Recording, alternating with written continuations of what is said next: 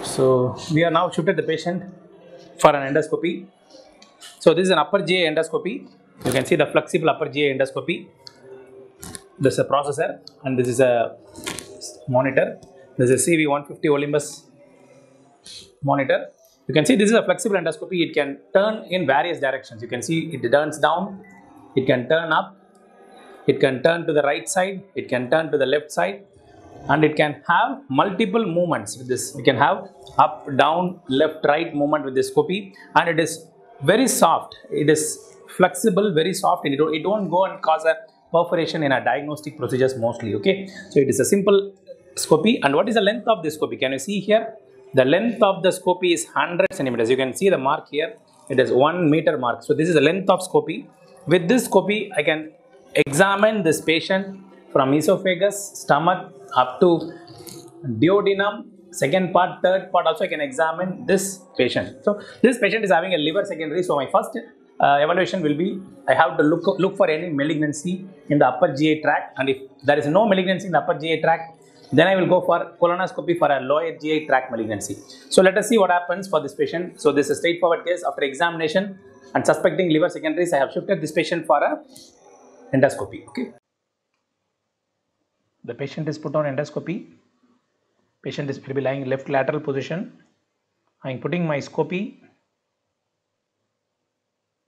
behind the tongue. You can see we are passing posteriorly. We are entering the cricothyroid cricopharynx level and going inside. So I'm entering the esophagus now. We have to inflate the esophagus with the gas. You can see the cardiac pulsation there.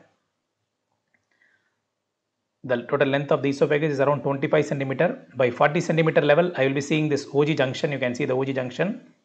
Now I have entered the stomach through the OG junction. I have come into the stomach. So inside the stomach, I am seeing a lesion there. But to exactly know the location other things, we have to inflate the stomach. So please understand if it is a linitis plastica, you cannot inflate the stomach. So this patient is not having linitis plastica. So I could inflate the stomach and I am doing a J maneuver now.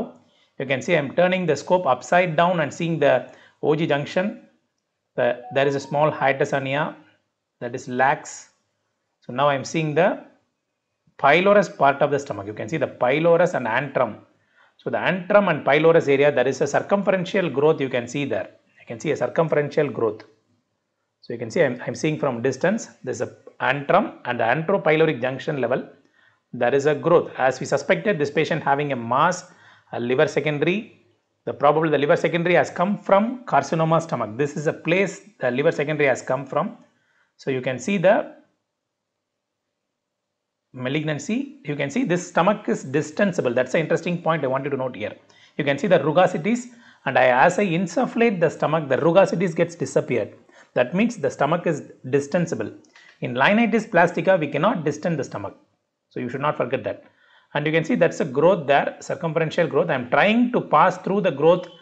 If there is a there is a small lumen seen but i am unable to pass inside. My scope is not able to enter inside. You can see the distally the pyloric orifice and all you can see distally but i am unable to enter beyond that. So it's a not passable growth. Okay it's a it's a obstructive circumferential growth in the pyloric orifice. So i have to take now biopsy so to confirm this is carcinoma stomach. I should take minimum of 6 to 8 biopsy you can see. With the biopsy forceps i am taking biopsies. We have to take at least 6 to 8 biopsy. To confirm the diagnosis and we should send it for histopathological examination. The biopsy will tell whether it is a intestinal type of cancer or a diffuse type of cancer. So in diffuse type of cancer, signet ring cell pattern can be found. And we can say whether the cancer is well differentiated or poorly differentiated. See, I have taken around 6 to 8 biopsies. Repeatedly, I should take biopsy. And there may be bleeding, nothing to worry. Most of the time, the bleeding will stop by itself. Nothing to worry. In, especially in stomach, there won't be perforation or bleeding. I am now taking out the scopy you can see I am taking out the scopy.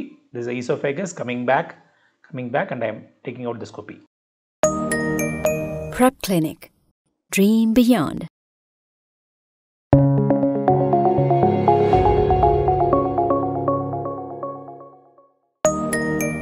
Prep Clinic. Dream Beyond.